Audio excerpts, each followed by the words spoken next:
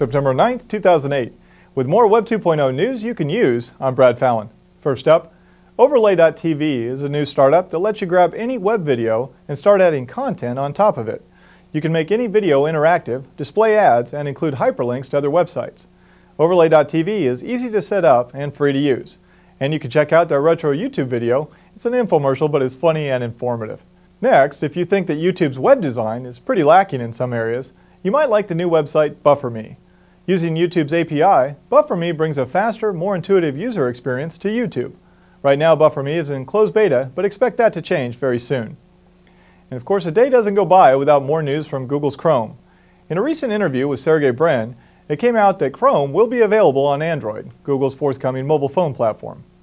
Next, if you were impressed with the new online slideshow program, 280 Slides, and you wondered how they build it, you're in luck. They released their own programming language called Cappuccino. It's based on Apple's Objective-C, and it's a powerful yet completely free programming environment. And finally, we've talked about Yahoo Boss at the Freeline Report before. This programming toolkit is supposed to let you create cool mashups and your own search engines using Yahoo's API. Until now, doing this required knowledge of different programming languages and tools. But now Yahoo's released Buildasearch.com, a website specifically created to overcome the learning curve required to use Yahoo Boss. You want to create a sport-specific search engine? Just a few clicks of the mouse and you're done. Until next time, I'm Brad Fallon.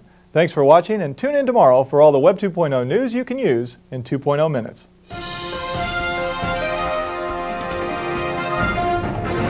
For Web 2.0 news you can use in 2.0 minutes, visit freelinereport.com.